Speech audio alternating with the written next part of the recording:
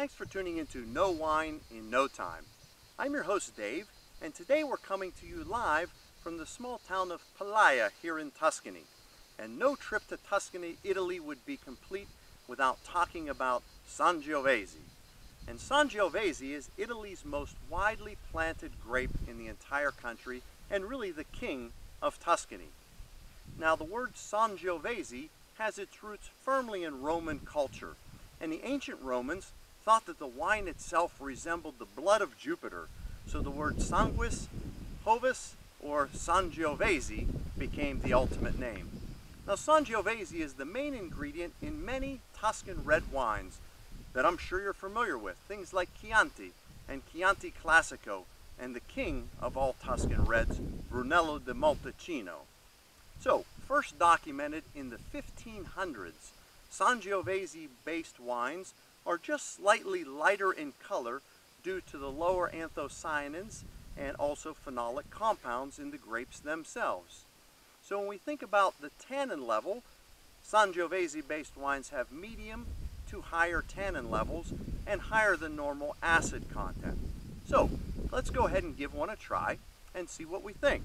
So this particular one is from Borgo Cipresi, and this is a Brunello di Montalcino.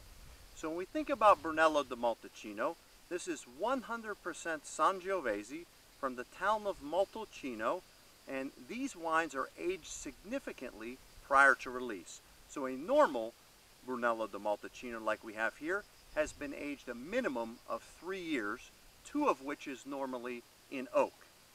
So these tend to be mature wines. Now the word Brunello actually means brown wine. So the Brunello di Montalcino is the brown wine from the town of Montalcino. And if we look at the color, we notice because of the significant aging, we can actually see a little bit of browning around the edges, a slightly bricky color to this wine. So let's swirl it and check the aromas. When we smell this wine, we notice that this wine is going to be significantly more mature. It has aromas of cedar, cherry, a little bit of tobacco, slight bit of licorice and some herbalness to the wine. So let's go ahead and taste the wine.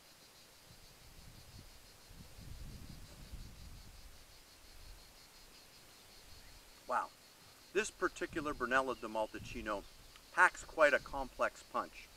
When it rolls on the front of the palate, we taste some cherries, and then mid-palate we can feel the tannins starting to build and all along it's balanced by a significant acidic stripe, but everything is in perfect harmony.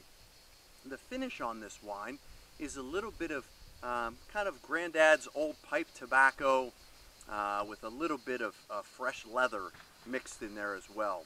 So a very beautiful wine, very, very mature, and uh, certainly worth a try. Now if this Brunello di Montalcino happened to be a Riserva, then by laws, the Riserva wine would have to be aged five years prior to release. So, I'm going to enjoy the rest of this Brunello.